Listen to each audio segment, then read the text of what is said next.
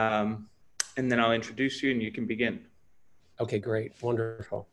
All right.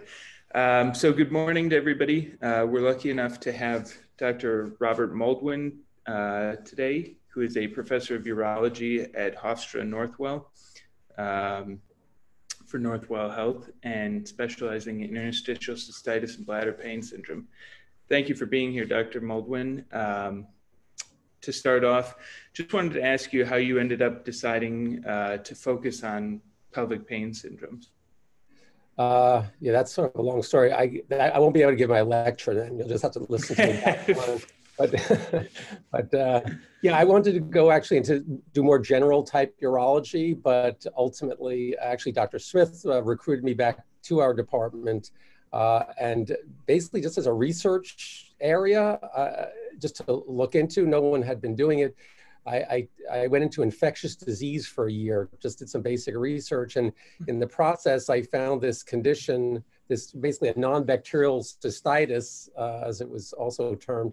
And uh, I thought it was like, it was an underserved population. Nobody was taking, obviously nobody was taking care. We didn't have good strategies of care. Uh, and you always want to do something where you think you can make a difference. And uh, I think I have. Uh, and I think that um, over the time that I've been involved in the fields, and hopefully we'll see today, uh, we've sort of come to different strategies that can help the, this whole patient population.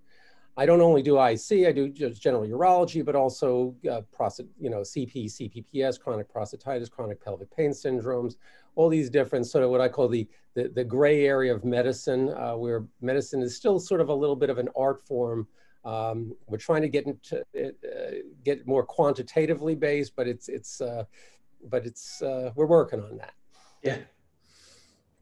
All right, and uh, last question, and then we can get into your talk. But uh, any advice to um, the the residents or um, medical students on the line here about things that they should be doing right now to prepare for their career long term? Well, you know, I, I think probably the most important thing to do is uh, you, have chosen urology as your, your field. Uh, you have to think of your quality of life, uh, what you love to do. Um, you have to think about where your your location. You have to think about who you're going to be practicing with. You have to think if you have a uh, that that spark that would put you into academics versus you you want to do uh, more of a, a private practice situation, or what have you. So you have to do what's going to, you know, you, you, you do have to think of yourself and, and your family. You can still take care of patients great no matter what you do. Um, as far as where I think things have worked out well for me is that I love the niche that I have. I mean, I think it's always neat to be able to do something really, what you feel anyway is really good uh, where you can make a difference uh, and you can contribute. I always tell you know my my kids, uh, you know, if you're going to do anything in this life, you want to make a difference, and if you can in in this field, then then do your best. Uh, do your best to strive towards that. Mm-hmm. Excellent. Well, thank you so much, and uh, take it away, Dr. Moldwin. All right. So anyway, I was talking to Michael before about how uh, you know, giving a lecture, I was thinking, well, they asked me, talked about something about pelvic pain, interstitial cystitis, what should I, I talk about? And I was thinking just giving you an overview, but I decided that's sort of like giving a, lecture you know, on, on whatever, prostate cancer.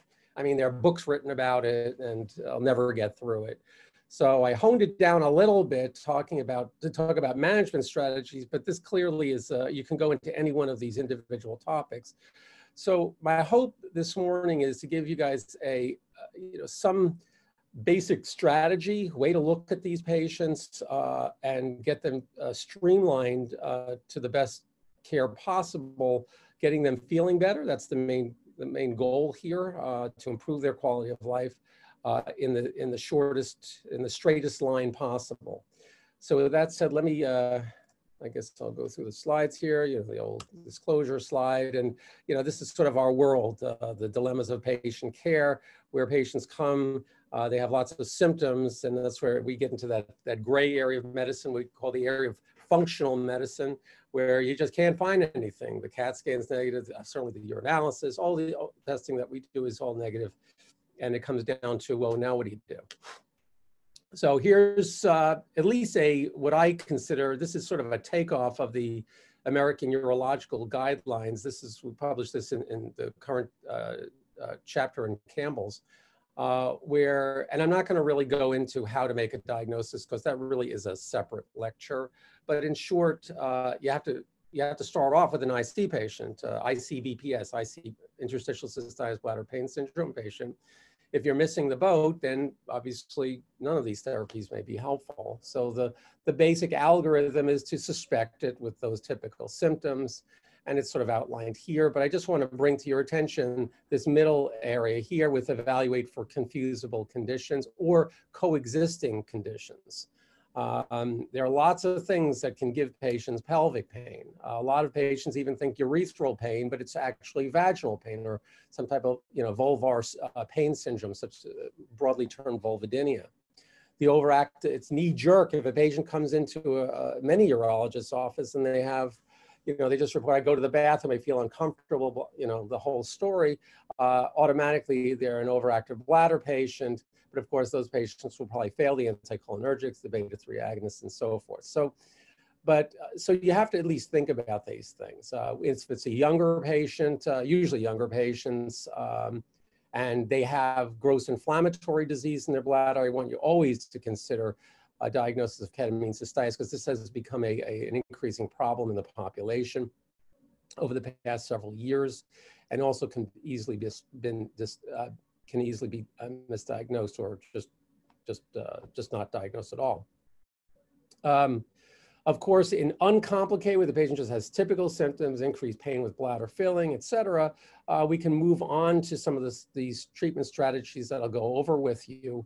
Uh, but I want to make one thing, um, one deviation from typical American Urological uh, Association guidelines, and that is the role of cystoscopy, which we may see changing over the next several years because there's a lot of push uh, to rule out, uh, again, confusable disorders. And these are just some of the things that we may find in a bladder, even in the face, believe it or not, of a, of a negative urinalysis and negative culture. Uh, the lower is a, a, surgical clip from an abdominoplasty. The middle one is a Hunter lesions, and only a Hunter lesion, uh, which only about, uh, probably about 50% of patients will have some abnormalities seen on urinalysis. And of course, uh, bladder stones or what have you. So uh, carcinoma in situ, all these different things. So again, I, I usually perform cystoscopy as part of the, uh, the initial evaluation of the patient. Also, it gives me an opportunity to go beyond just normally just looking in the bladder. One can get an idea, can we reproduce the patient's level of discomfort where they're describing at home uh, with uh, with bladder filling in the office. Do you need to do urodynamics? No, I don't. I don't think so. Uh, only I think in certain circumstances and with specific clinical indications. But the cystoscopy and avoiding diarrhea can really be very, very helpful. I think at lining up the patient for better care. Uh, one thing in, uh, specifically, if the patient does have a Hunter lesion, which I'll get into later, uh, you know, the whole algorithm of care may change dramatically. Uh, again, uh, you need to be skeptical. I, when I first started in practice, I thought I didn't think anybody had interstitial cystitis. I thought everybody pretty much had pelvic floor problems, uh, which were causing pain and, and all that. And the reality is then the patient started really coming through. They did have that pain with bladder filling, negative urinalysis, they're avoiding multiple times at night, and, and so forth. But when you see a patient come in where the pain is not midline. Remember, the bladder is a midline structure, so therefore, usually the pain tends to be midline. It's very difficult and ill described because it is visceral pain. That's the typical quality of pain that patients have. It's hard to exactly tell where it is, it's hard to describe, etc. Um, but uh, can you have pain on one side versus the other? Of course you can. If there's a, we often, often see there's pain uh, from a, a, Hunter lesion that's on the right side, they may have more right-sided pain. But we have picked up patients with right-sided distal ureteral stones and so forth along the course of, uh, of care. Uh, pain that is not related to bladder empty, filling or emptying. Now, if you look at the AUA guidelines, it'll say pain perceived to be in the bladder it doesn't actually say pain with bladder filling and modulates with bladder filling and bladder emptying, but as, as urologists, I think we really need to hone in on the bladder as a as a pain generator itself. And I think that is one of the really helpful things. And when it's not that they can't have it's IC is out of the question if they don't have this finding, but one needs again to maintain a certain degree of skepticism. No nocturia. It's hard to explain why a patient would be voiding, you know, uh, 30, 50 times per day and not and sleep through the night, of course. And one needs to wonder, is this some type of functional, uh, maybe pelvic floor related or what have you? Pain occurs during menstrual flow. Mo interestingly, most ICBPS patients tend to have a, uh, a, a, a, premenstrual flare, uh, uh, but during their menstrual flow, they feel better. But when you feel, uh, uh, which is sort of counterintuitive, but they do. And um, um, when they don't have, when it, they actually have pain during the menstrual flow, at least I think of other uh, processes, whether it be endometriosis, adenomyosis, et cetera. Uh, and of course, dysuria, always think just urinary tract infection or some urethral abnormality, urethral diverticula, always at least think about these things. If you are, once you feel comfortable with the diagnosis and you move on to therapy, but nothing is working, uh, you have to start to think, well, could there be another pain generator? And we do, for example, know that about 80, 85% of patients who have uh, ICBPS will have some uh, degree of pelvic floor uh, myalgia, dysfunction that might cause symptoms. They may have vulvodynia, IBS, all sorts of different things that might be part of the process. Um, also, you may completely, completely off, off target and there may be no bladder problem at all. This is the general algorithm that has been described in the guidelines, and I'm going to go over through them, but but I'm, I may deviate a little, I may add, I may take away some of these things as we go through them because of course they are guidelines. You should know them for your boards. Uh, and, uh, but uh, I'll give you some uh, caveats along the way when we use them and how things actually have been changing and are in the process of change. We generally start off with uh, conservative therapy is any process in, in urological uh, uh, circles. And, um, but of course you have to modulate that dependent upon the severity of the patient's symptoms. So I can send them, for example, to the Interstitial Cystitis Association. We can work with dietary changes. But I can tell you, if they have severe symptoms right off the bat, to work with this kind of stepwise process really doesn't make a lot of sense. You may need to jump in with higher level care at an earlier time, depending on the specific clinical situation. Nevertheless, I can tell you this is a good website to know. It's a great 800 uh, number to know. Uh, lots of, um, of information, not only for patients, but for clinicians as well. They even keep people up to date on current grant activity in the field. So it's really a, a great organization. It also takes a lot, takes away a lot of time from, uh, for the clinician in terms of explaining diets and all that's all on the website. I just wanted to bring, I was looking at this last night. I said, oh my gosh, look at this. This is really, old. Five years ago, we were talking about the role of opioids in the treatment of chronic pelvic pain. You know, how things have changed. Wow. Um, okay, so in, in staying in the same mode of conservative changes, uh, I want you to, there's a lot of talk about how uh, diet may affect uh, the symptoms of ICBPS. But I want you to know, and a lot of people have developed these tear off sheets, just follow this diet, that's it. Well, no one's really proven any diet is specifically perfect for every patient. There are some, we've done studies, uh, basically they're all questionnaires about, and create, we've created histograms uh, literally to see uh, which 10 uh, comestibles, as we call them, tend to cause a problem, and actually which tend to make things a little bit better for patients. But it should be told to every patient that not every patient is sensitive to every food. And just like medications, you can overdose with them too, or you can underdose. So if a, a food may be uh, a problem, sometimes just taking less of it may let that patient have that piece of chocolate once in a while. I think it's always important to at least tell the patients about an elimination diet. Yes, caffeinated beverages, uh, alcoholic beverages, citrus fruits, etc., uh, can uh, may uh, spicy foods may tend to cause problems for many patients. But again, not every patient is diet sensitive. Also, if they think something might be causing a problem, they can start with a very bland diet and start to work some of these what you know these potentially offensive agents or uh, foods and beverages back into the diet actually see if it's a problem. One problem, just like the overactive uh, bladder patient, people just stop drinking. They end up, and here I'm going to take my sip of coffee here.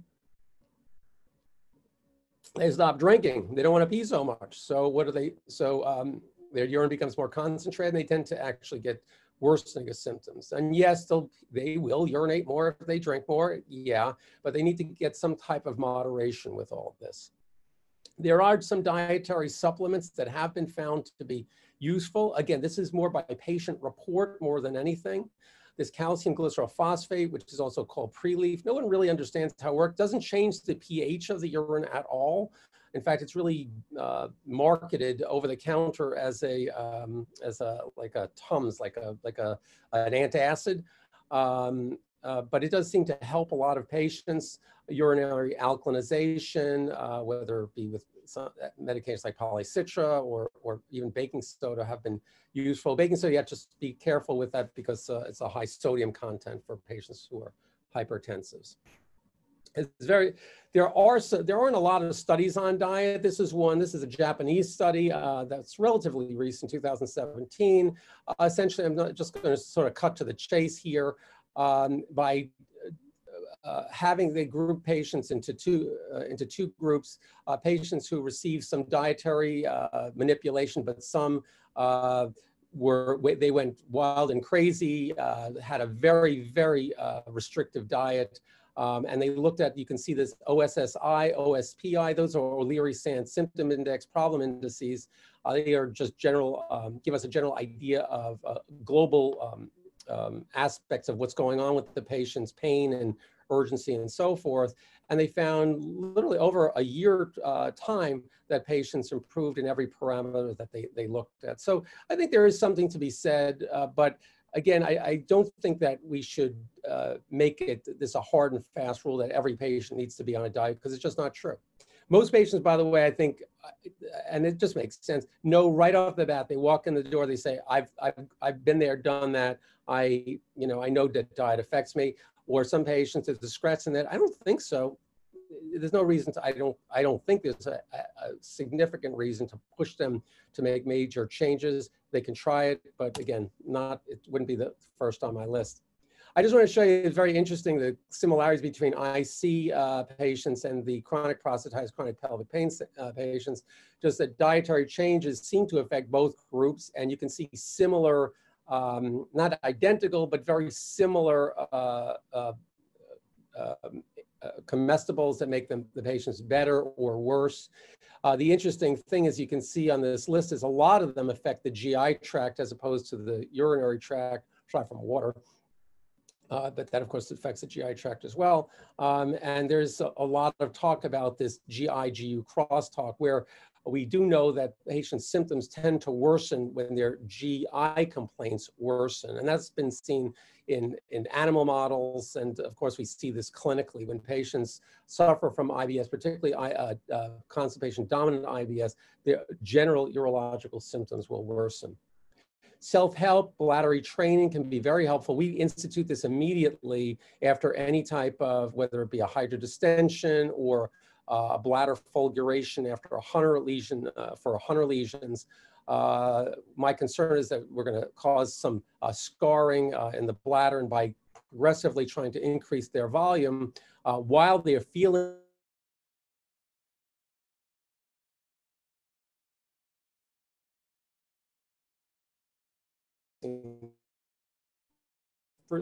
yoga primarily really good for uh, any associated pelvic floor problems. Biofeedback, e-stim can be helpful, usually done through physical therapy. Uh, I can say warmth and he has incredible. Uh, they are uh, partially the regular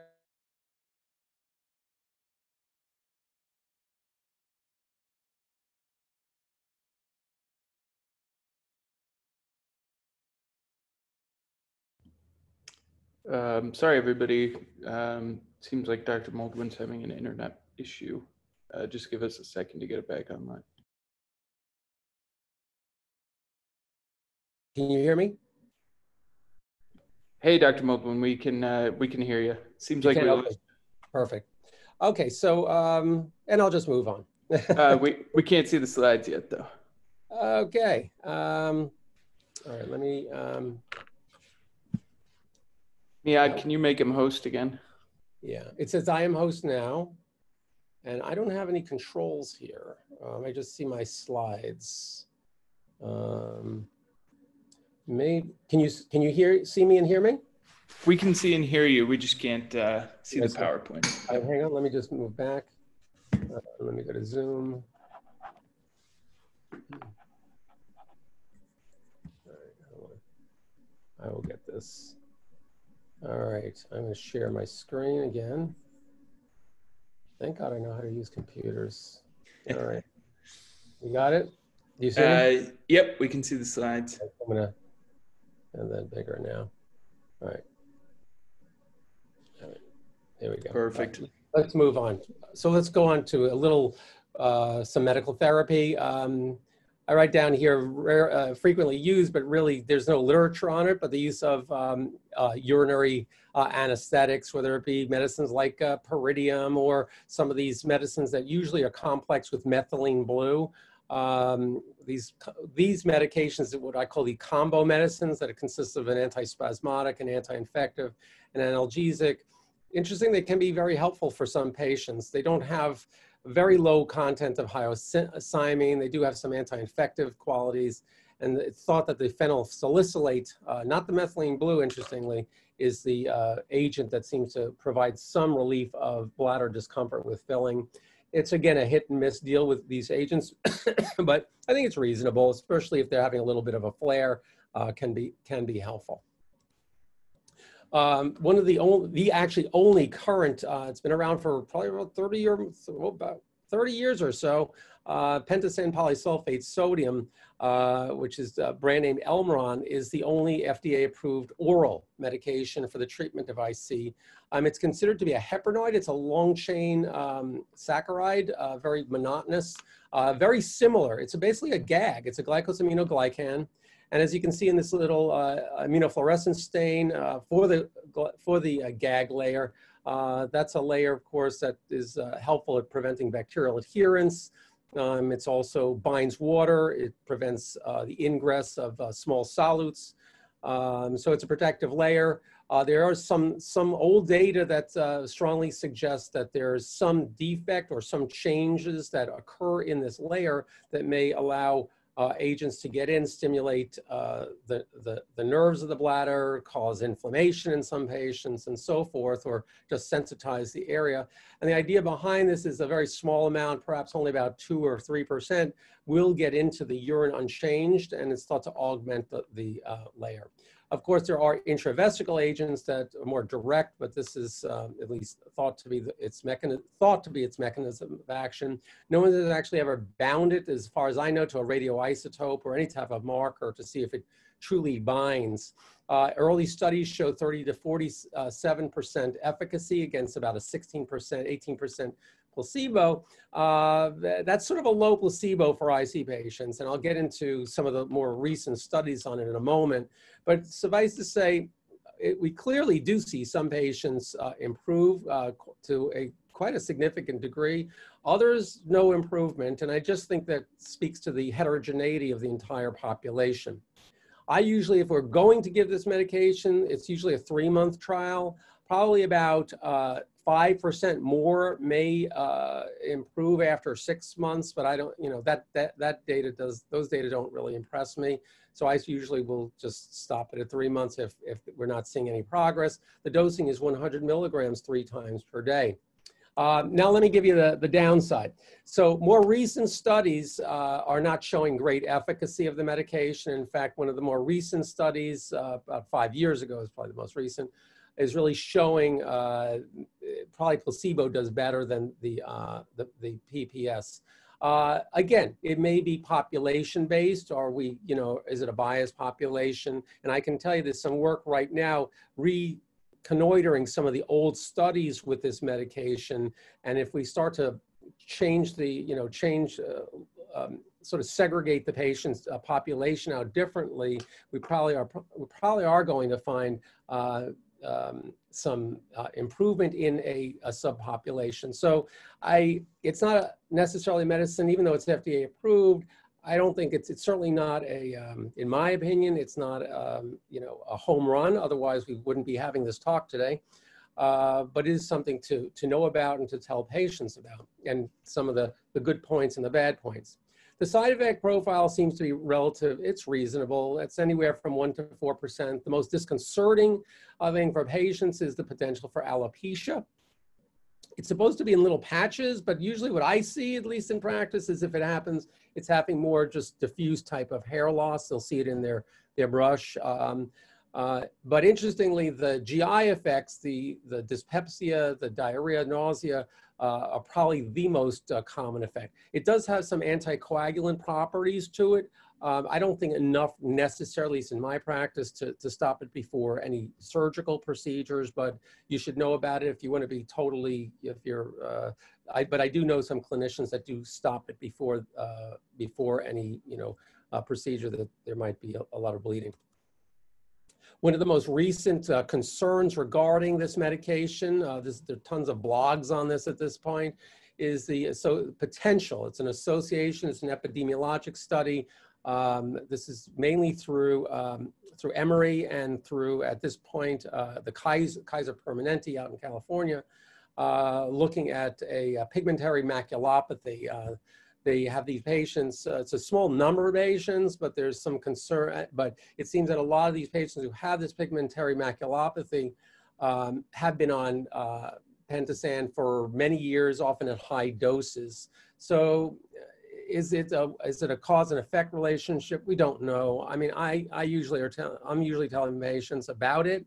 Um, again, it's usually with chronic exposure long term, like over, you know, uh, 8, 10, 12 years and so forth. Um, so, uh, but I'll send them to the ophthalmologist just for a check. They, these patients tend to go to the, uh, to the ophthalmologist mainly because of these symptoms, which include blurred vision, dark problems with dark adaptation, and this metamorphopsia, uh, which is a different, according, uh, I had to look this one up, which is essentially if you're looking at vertical blinds, you may see them curving. Uh, so there's some distortion in, in, in vision in that sense. Uh, moving on to, I think probably a, one of the more first line, even though it's not FDA approved for, for this, for, uh, for ICBPS, this tricyclic antidepressants really hold a sort of a central role. And uh, the one that's been uh, investigated and probably used more than any one of them has been amitriptyline. Uh, the doses usually start at 10, can go up to 75 or even more uh, and it's usually given at night, and we'll get into why that's that's we, we, do that. It's what's called a dirty drug. It has a lot of different effects, but uh, which make it not really that helpful to psychiatrists. Um, it has, but it, for urologists, it works out okay.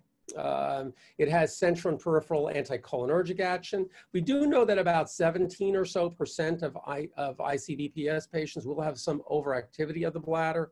Um, it does block pain. It seems to accomplish this through uh, blocking reuptake of serotonin, particularly norepinephrine in the central and peripheral nervous system. It functions also as a local anesthetic. It's a sodium channel blocker like lidocaine or, or, or, um, uh, or, or bupivacaine.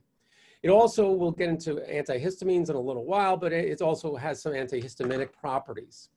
Um, if you look at some of the studies of amitriptyline, there are two pretty much is there are two placebo-controlled studies, one long-term study.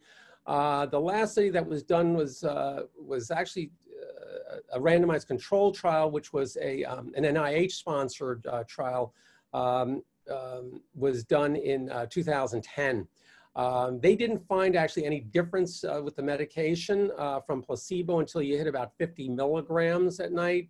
In clinical practice, I have never seen that to be the case. We have patients on 10 or 20, and they've been doing well for years, uh, well beyond any placebo effect. And when they come off of it, they, they, they or they come down on their dosing, they do find some uh, worsening of symptoms. So uh, the you know you shoot for the lowest dosing in any medication that's going to be effective. So I wouldn't be uh, swayed by that particular study. Um, all the tricyclic antidepressants, you should know what their side effects are. Uh, and as you can see here, the constipation is pretty one, number one, two, and three. Uh, many of these patients, as I mentioned, will come in with constipation dominant IBS. And if they are constipated when they start this, they will not be happy. Um, so you really need to clear that before you get going with that. A lot of patients are younger. They are going to sleep. Uh, I don't know nowadays with COVID, but they're you know they're getting they're going to sleep at like two o'clock in the morning, and they have to wake up for work. Well, there you write QHS on your prescription pad, and they're writing. Uh, well, they don't make prescription pads anymore. You click it into your EMR. Um, and you, uh, what do you call it? And uh, you put, click the QHS in there and they take it before they go to sleep. They're never going to wake up in the morning. Uh, you know, they're just going to be really groggy. So you really need to back up the dose. I usually tell patients to take it around seven, uh, you know, seven, eight o'clock at night, assuming they're going to bed around uh, 10 or 11. Uh, of course, it has anticholinergic effects, urinary retention, dry mouth. And I want to pay attention to that urinary retention because some of these patients are dysfunctional avoiders. So if they come in, I have urinary hesitancy, I don't feel like I'm emptying, I have to push and strain. Not a good, you better watch out. Don't start those patients on, uh, you know, on moderate or high doses. You want to really be careful with that. These medications, all of them, including the antihistamines, have this little potential to, to make it easier to gain weight. I usually tell patients sort of one Oreo cookie is now three Oreo cookies, so um, you have to be careful with that. In men, it's very helpful for premature ejaculation. In women, it can also decrease uh, sex drive and really inhibit uh, ability to orgasm. Any of these meds, including the uh, uh, uh many of the antidepressants beyond the uh, tricyclics. Palpitations, if a patient does have a cardiac history, I usually will get this, I will uh, send them to their cardiologist or their internist to clear to clear the medication because it can um, um, in, influence uh, cardiac conduction. So uh, important thing to, to uh, keep in mind. And if you hear the patient has palpitations, they can't take the med. That's all that comes down to.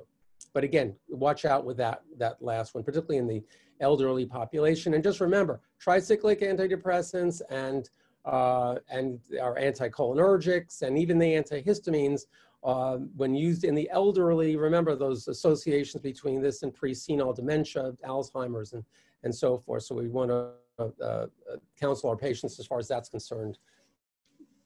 So how to use this medicine most effectively? Again, start with a low dose. You don't want to start with a high dose. If you start with 25 milligrams and the patient has an adverse event, I guarantee you they're never going to want to take the medicine again. They'll never take 10. Okay, so better to start with a low, work their way up, and the patients can do that themselves. Every week they can go up by 10 milligrams or so. Uh, of course, increase the dose as the patient tolerates it. Uh, take the dose with dinner time, not at bedtime, as I mentioned. And remember, no constipation with this medicine. It, you'll, you'll make them worse. And watch out for those voiding dysfunction patients. There are alternatives. Um, uh, nortriptyline is, uh, amitriptyline is a tertiary amine, nortriptyline is a secondary amine. Amitriptyline literally gets converted to, to nortriptyline. Nortriptyline uh, comes in only a capsule form, so you can't actually cut it in half or play around with it like that. But it does have a uh, some uh, probably a little bit better side effect profile. Doesn't seem to work quite as effectively, but again, if the patient's having uh, not tolerating the amitriptyline, you can try that. And again, other uh, uh, anti um, tricyclics you can try. Imipramine is one I tend to stay away from mainly because it's good for urinary incontinence. But again, for those people who have, you know, uh, some dysfunctional voiding problems, you'll make them worse with that medication on top of the anticholinergic effects. So antihistamines, we're going to go into real quickly. Um, they, that's one of the other medicines, staple medicines we use. It's the same basic doses as the uh, tricyclics uh, but they can be used, uh, and they can be used side by side. Uh, sometimes you can get up to a certain dose on the amitriptyline. You can't go any further. They're getting one side effect or another, the constipation, et cetera, but they're still not sleeping. And I sometimes we'll add an antihistamine, 10, 25 milligrams at night, and that seems to help. Uh, there is data, the theory behind this at least is that um, that it uh, that there are higher histamine, uh, uh, uh, there's higher histamine content in the bladder of afflicted patients. There also see you see early scan, um, scanning electron micro, electron microscopic studies to show degranulated um, uh, actually I think it's transmission electro, electron microscopy, showed uh, uh, degranulated mast cells in these patients. So there's a lot of activity uh, cell wise and therefore uh, again the concept behind this. I just find it helpful to help the patients uh, sleep a little bit better at night. It does have some uh, impact I think on their nocturia. Not no really good no good RCT has been done on this medication. Uh, the one that has been done has not shown particular efficacy. I think again uh, I think that may be related to heterogeneity of the population. Uh, cimetidine, I'm not going to spend a long time on this. It is part of the AUA update, you know, on the protocols, and it's in there because there are some double-blind uh, RCTs that have been done. Um, just effectively, I, I, it's not part of my arsenal. Um, I just have never found these to be particularly helpful as these uh, two studies.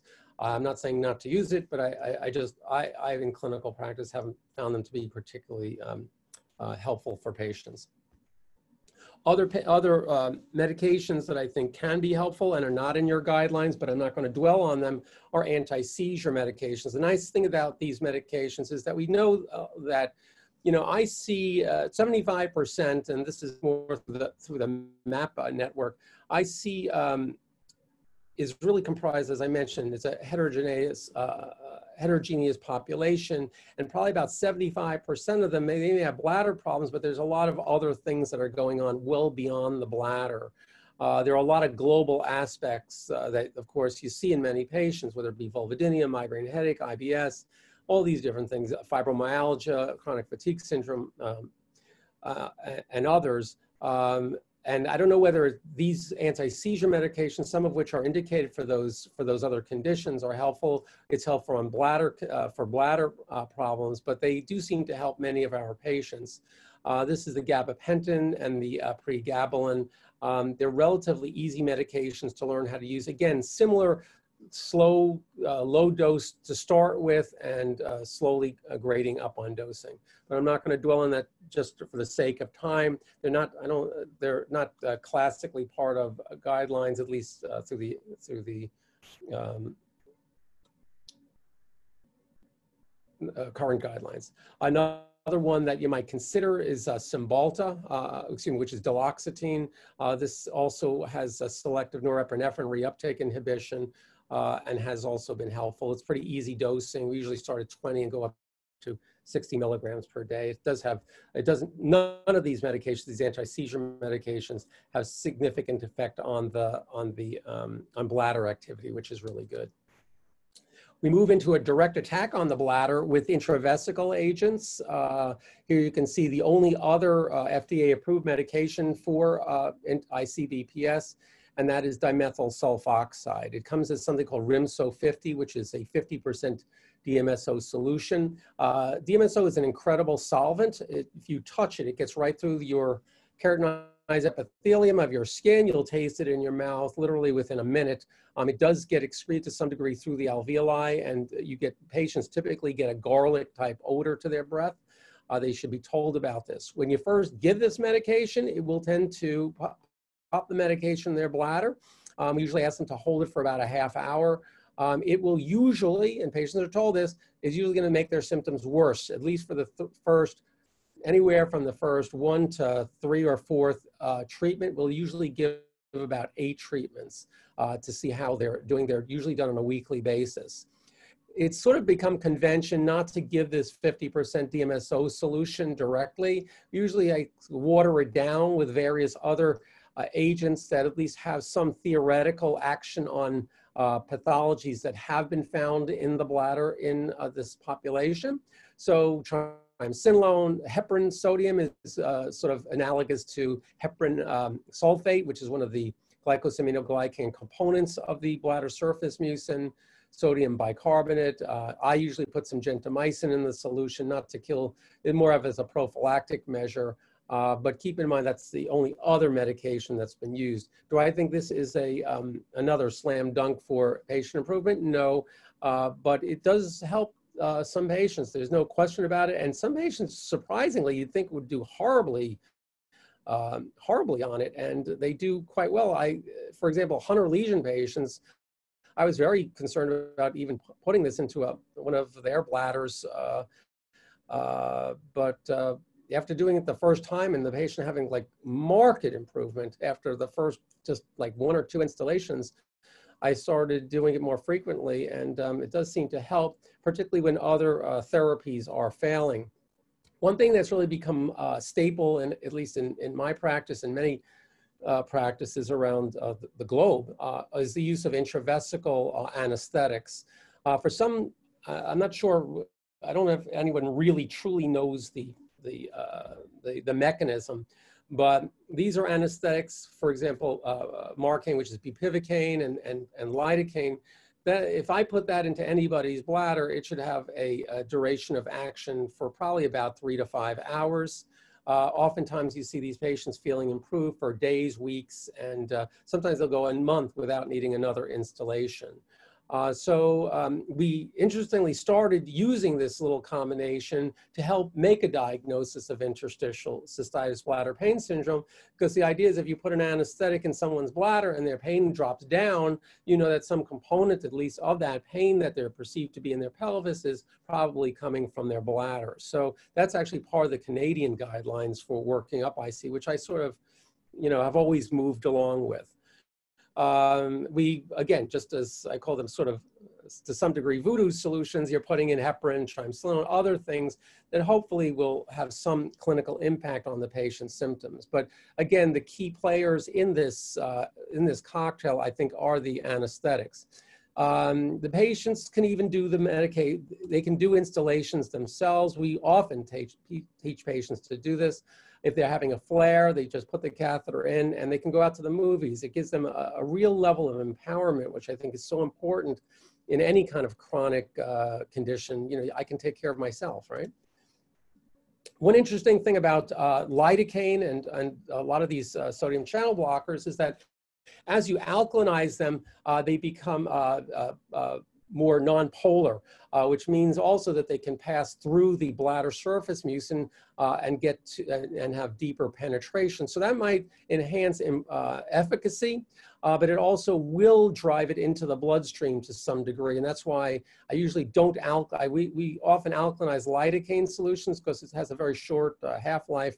Uh, we don't usually do high concentration uh, uh, solutions for that reason. Uh, but I really do stay away from bupivacaine because uh, alkalinizing bupivacaine because that can then actually have some cardiotoxic effects. So again, that's just a little, I, I don't think there's any reported uh, problem with it, but it's just, again, more theoretical than anything else. So I gave you some ideas of what can be used, anesthetics, DMSO. Some people are just popping heparin in. In Canada, they're even using hyaluronic acid, which again is a glycose, which is one of the components of, of a bladder surface mucin. But just to show you where people have been, have put in Clorpactin, which is pretty much similar to Clorox uh, in the bladder. Uh, I think that goes back to the days of tuberculosis. Um, uh, and there were concerns of uh, reflux and, and so forth and ureteral scarring, so we sort of stay away from those types, silver nitrate, uh, even BCG uh, even hot peppers, capsaicin. Um, so all these things have been looked at. Um, but I think in general practice, as you're getting out there, uh, if you just have a good handle on anesthetics and the DMSO and maybe using them as cocktail solutions, I think you'll do quite well. And I would really encourage any uh, practice to, to work with uh, teaching patients, you know, the self therapy. It really does um, uh, improve their quality of life. The biggest pushback that we've been getting is from insurance companies because they don't want to pay for the medications then. They'll, they'll pay for it in the office, they won't pay for it uh, for the patients to do it at home. Does that make sense? No. Um, hydrodistension. Uh, this is a, a, a procedure that used to be used in the evaluation of interstitial cystitis bladder pain syndrome, we would see typical findings. You'd see a low, what we call an anesthetic bladder capacity. You would see uh, little, um, uh, what are called glomerulations develop submucosally. Uh, we know that the findings were really not all that sensitive and specific for uh, IC, and that's sort of come out of favor. It's still being used almost uniformly in, uh, in Europe and elsewhere in, on, along the globe. Uh, the problems, the, the, why I'm putting it in the, the treatment section is because some people do get some improvement in symptoms afterwards. I don't use this as a go-to um, therapy because if it does um, help them, it usually helps them. They usually go through three weeks feeling miserable. If it helps them in about 50% of times, it'll help them for maybe three months, sometimes longer. Um, but then they'll get their symptoms back. And I'm always worried that, you know, by quote, traumatizing the bladder, we're going to cause more problems for them in, in the long run, axonal sprouting, scarring, uh, and, and, other things. But these are the types of findings one might see in, in some of the IC patients. You can see uh, mucosal tears, you see these classic glomerulations.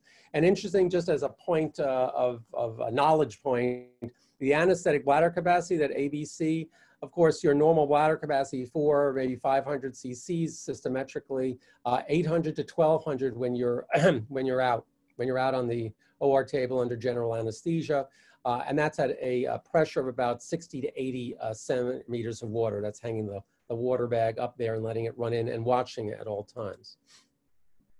There are problems that people have described after hydrodistension, um, particularly people who have had therapy directed therapy to their bladder previously.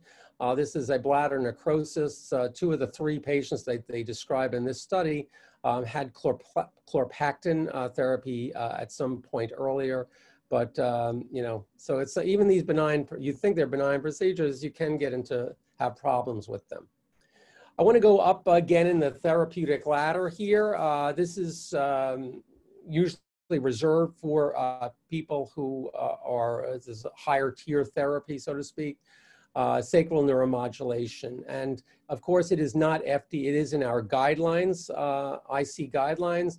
It is not FDA approved for that purpose. I usually, and you'll see in the literature that you're going to get the best results for patients. Yes, they may have pelvic pain and bladder-based pain, but the patients who you're going to see the best results are the patients who do complain of, uh, have some component of urinary urgency or painful urgency or some need to get to uh, having difficulty deferring a visit to the bathroom. So um, that's where I think uh, this, this particular device uh, is really going to shine. Um, I think it also is going to shine where uh, patients have concomitant bladder uh, floor dysfunction, you know, um, pelvic floor dysfunction. Um, patients who have difficulty, urinary hesitancy, they're, they're, uh, um, the sensation of incomplete voiding, you're seeing a start, an interrupted flow pattern on, on uh, uroflowmetry. Um, and some of these patients may not even empty their bladder when you just do PVR checks. So again, uh, it, it does have, I think, uh, a role over here. Okay, let's keep on moving up here. Um, I wanted to just show you where the, the previous um, AUA guidelines were. As you can see down here, you see where it says intradetrusor botulinum toxin A. This is onabotulinum toxin. This is the Botox. It used to be as fifth line therapy over with cyclosporin, and we sort of moved it over with neuromodulation. And that's mainly because um, the safety, you know, we looked at safety and efficacy, and it was uh, seemed to be pretty safe, especially with uh, the, the data that was found with overactive bladder. Only about 6% of patients, that's only 6% of patients uh, having problems with urinary uh, retention. Um, in any patient with IC, because there's such a, uh, what I see at least is a, a high um, a prevalence of concomitant um, uh, bladder avoiding dysfunction, just be very cautious when you're using it, um, Botox injections into the bladder uh, in any patient who's describing urinary hesitancy or you can see is, is having some difficulties with uh, uh, bladder outlet issues. Um, but when you give it in a different, uh, when you do give it in an appropriate patient, and this is probably the best study out there, this is from uh, 2018, uh, um, Journal of Urology, you can see uh, giving 100 units mainly into the trigone uh, area, uh, basically along the base of the bladder. We're not giving it uh, uh, like a typical um, template for OAB, but when you do administer the agent in this area, which is thought to be higher density of afferent fibers versus, versus um, um, you know, um, motor fibers, um, you do get some interesting improvements in pain. Um, you're looking at symptom scores improving. Um, this is pain, symptom, and, and a problem scores. This is that O'Leary-Sant score that I was mentioning earlier on that diet study. Um, so there are significant differences, and I think we're going to see more of this in the future, hopefully. Small study, of course.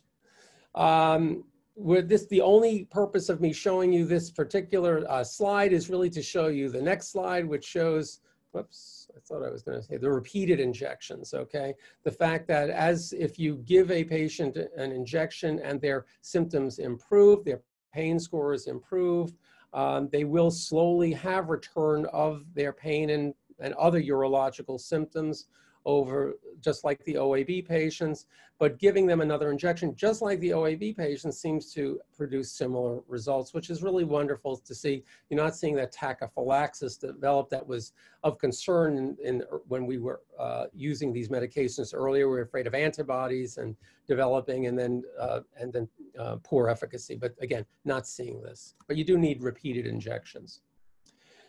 Okay, so what I want to do in my final is really to, uh, in the, my final words to you this morning uh, is really to get into what to do with uh, some of the more difficult patients, and that's uh, these are the patients who have Hunner lesions. We don't call them Hunner ulcers. I left that there because I forgot to take it out the side, basically, but I got to change that. Uh, this is a before and after shot of a Hunner lesion. We always biopsy these these guys because we just want to make sure they're not a carcinoma in situ hanging out over there here and there we'll get different pathologies. So, uh, but after you um, after you fulgurate them, and this is just with a Bugbee electrode, you can see a gentle touching with it, with just 10, 10, 10 coag, zero cutting current, you can see this crazy reaction. This area blanches and the whole area around it turns uh, beet red. You'll see edematous reactions occurring.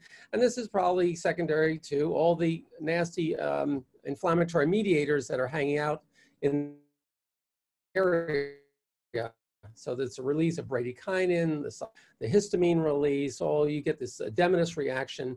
And I always tell our residents, you know, you sort of have to sort of mark these off before you start because you can start chasing your tail. You burn this, it becomes bigger, then it becomes larger and larger. So we try to stay focused on the initial site of the, uh, of the lesion. So uh, if you want to do a very simple thing, I've heard of this even being done in the office setting. I don't know how you can do it. I just you can you can get bleeding with these things too. So I tend not to do that because again, the patients are in pain to begin with. Why do that? But um, people have used roller balls. That's fine. I usually just use a six uh, number six Bugbee electrode, low coag, no current. Um, mark, as I mentioned, the edges of the lesion before you start. Um, I would, you'll see a lot of literature about doing a, hydros, a concomitant hydrodistension. I mean, if you're going to do that, I would be very careful because what happens is when you start to stretch the bladder, what do you think is going to have? This air is going to traumatize. It's going to start to bleed, sometimes heavily, um, and also all that uh, edematous reaction will start to expand, and you'll never know where you're going to be fulgurating at that point. So. Um, I try to avoid that. If I'm going to do a hydrodistension, I'll actually do it a little mild and under vision um, uh, after I do the fulguration, but really uh, very, very cautiously, because again, very easy to, to create a bladder tear and to actually uh, have a perforation at that site. Uh, as I mentioned here, this is a study we did a few years back, uh, just to show that there's a fall off. Uh, these are not, I always tell patients, this is sort of like having psoriasis of the bladder. If it's in one area, it's just as likely it's a field change. It's going to occur in other areas. And there's some recent data looking at the uh, histopathology of Hunner lesions versus uh, the quote non-Hunner lesions in the same patient's bladder, and there are similar findings. So there is definitely a drop off. Um, you you know uh, usually will give them a good year or two of, of uh, improvement. Uh, the reason that the, the uh, patients dropped off, the, the way we, we, we, we show this drop off is the patients need to have a, another fulguration. So they say, please, uh, you know, my pain's coming back. I need to do this again. Uh, Hunner's lesions by themselves will cause scarring. Uh, if you just leave them alone, they'll just do it all by themselves. And you know, my biggest concern is when we fulgurate, uh, we're going to be causing our own problems. You know, we're actually going to be um, producing scar ourselves. And although that's not proven, it's something of concern to me. Um, so I usually, um, and this is these are the kinds of things that you'll see in the bladder, these kind of arching areas, banding scar, which really limit the bladder capacity. Uh, it's really, you can see why, what's holding things up. Um, we call them bladder synechia. And we, in this one patient, we even, I'm just going to, just to not prolong things, we even cut into this. We, we, we lysed that whole area. We even went down into perivesical fat. We left a, a, and we got probably an extra 30 cc's volume, which is another hour, an hour and a half of uh, avoiding relief for that patient. So she did well just by cutting through there. Uh, because I want to uh, not take up too much time, of course, uh, we can always inject these lesions and triamcinolone seems to be the agent of choice. You can use all sorts of needles. Uh, we use the Laborie endoscopic injection needle. I just like the idea that it's, um, you know, you can get a, a specific level, depth of penetration. But for the residents there who are not used to using it, you can perforate a bladder if you just stick this thing in too hard. So you have to be careful. It's very, um, you, have, you do have to be careful with it. But here's a typical uh, small lesion. Of course, I'm going to show you the best slide I have uh, because once you inject it, you can get a lot of bleeding, that tend to be very inflamed areas. Uh, but you'll create a nice bleb over there. And I just want to show you these very interesting shots just to show the, how cool this is. On the left, you can see the Hunner lesion. On the right, you can see looking back after a bunch of months, you can see that little, that little, those little, sorry? Hi? Uh, you can see the, the, the, the, small areas of triamcinolone uh, there, and there's no, there's no inflammation at all any longer. So, uh, and also you don't see any tethered bladder mucosa, you see nothing there. So I think we've accomplished our goal. Uh, cyclosporin um, has really uh, been more popularized uh, these days amongst people who work with IC patients. Um, it has a really pretty good success rate, specifically with Hunner lesion patients. With patients who do not have Hunner lesions, I really, it's, it's not great efficacy, and there still are no randomized uh, controlled trials here. Uh, but the success rate uh, that we see, and the, the, numbers are small, of course, uh, but they, it is pretty profound what we've been what you know what we've been seeing in clinical practice. Really, a reduction of improvement in pain, urgency, frequency, and also a reduction in terms of the severity of inflammatory disease in these patients. So um, it's something uh, where I use it in clinical practice is often the patients who have really diffuse inflammatory disease in their bladder, and there's no way I can burn all that. If they're focal lesions, we can do it. When it's diffuse, it's really tough to do that. So we'll give them cyclosporin. It'll sort of uh, confine the lesions, and we'll uh, finish up. And of course, hey, Dr. Moldwin, just wanted to let you know we got about two minutes, um, and then we got. Yep. Okay. If that's all right. No problem. Yep. All right. Thank you. Uh, failure of uh, medical management, of course, ileal conduits, uh, you know, uh, uh, you know, urine, simple urinary diversion might be perfectly reasonable. Uh, you can leave the bladder in situ, and there's some, there's some, um, there have been some publications showing patients can do just fine just by not having urine running through there. We tend to remove the bladder, at least at our institution, when it has to happen, and we'll do a simple procedure as opposed to any type of pouch-based procedure. We were doing these supratrigonal cystectomies where you remove just basically all the bladder except for the trigone and replace it with bowel, uh, a cecocysto, uh, an ileocystoplasty or just an ileocystoplasty. And um, the problem is you often, these are often Hunner lesion patients, so develop inflammatory disease right at the suture line and then you have a problem. And keep in mind, these patients will need to catheterize post-operatively, so that's going to be an issue as well. So yeah, so the two minute rule is good. Because where are we going in the future? Uh, we got a lot of things in the pipeline. I think the fact that the epidemiology has changed, we think that there are probably somewhere about somewhere between about four and maybe uh, maybe four or five million women in the United States, and probably about perhaps two million or more men in the United States with um, ICBPS. So I think this is sort of the stimulus to get a lot of um, you know industry involved involved in, uh, in developing strategies of care for patients. So again, I think we're going to uh, see that more and more, and more FDA approvals for uh, probably therapies that are even already out there. That's it. All right.